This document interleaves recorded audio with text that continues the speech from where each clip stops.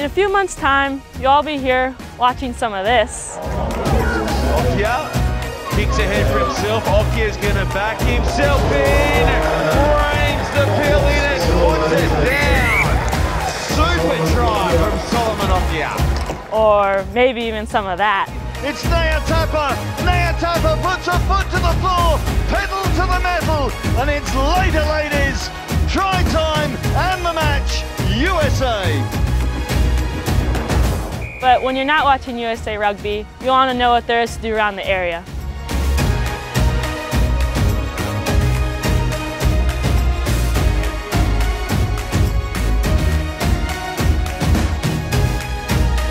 South of Market Street, aka Soma, is where AT&T Park is located and where the Rugby World Cup will be held. It is the old industrial heart of San Francisco that has undergone mass redevelopment in recent times, including the construction of AT&T Park, which opened in 2000. I can assure you the competition on the field is going to be intense. But in a break between play, you might want to check out one of the city's craft breweries, many of which are just a short walk from the stadium. Well, the first brewery was roughly in 1896, but there's been a really uh, an emergence or an explosion of new breweries that are happening in San Francisco. The last few years, we've gone from seven breweries to 30 breweries.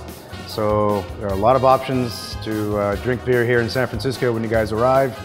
We're very much a thriving beer culture. And Soma's a very important neighborhood in the history of craft beer here in San Francisco. A lot of the first breweries started here in the Soma neighborhood, including Anchor Brewing.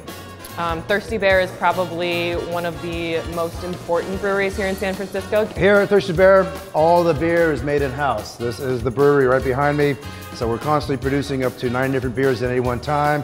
Not only do we make beer, we have a huge 40-foot bar, so you can have any choice of whiskeys that you like, followed by some amazing cuisine. But if you want to use your time a little differently, check out San Francisco Museum of Modern Art, which is close by.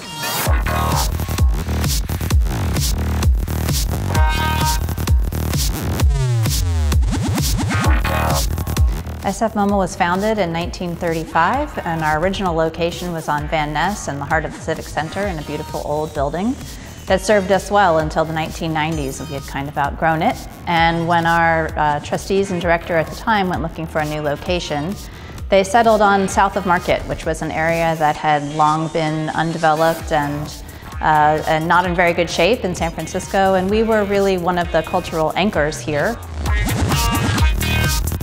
It's the perfect place to come for an hour or two. We're a very large museum. We have lots of different kinds of exhibitions going on, everything from Matisse paintings to really contemporary cutting edge art.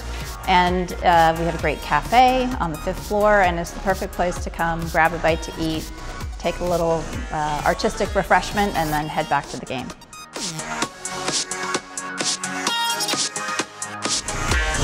Yerba Buena Gardens is a great spot to check out just opposite the museum.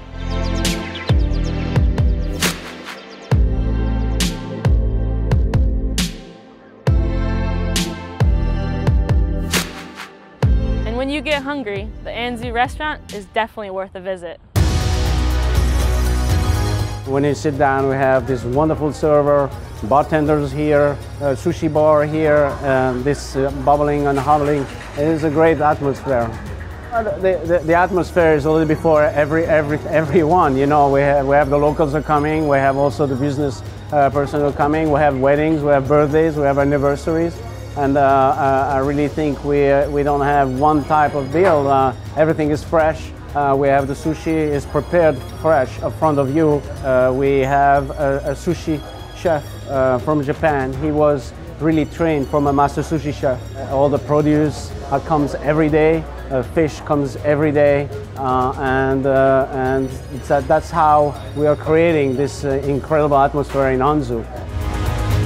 And if you want to know more about the city, check out all the guides on World Rugby's social media.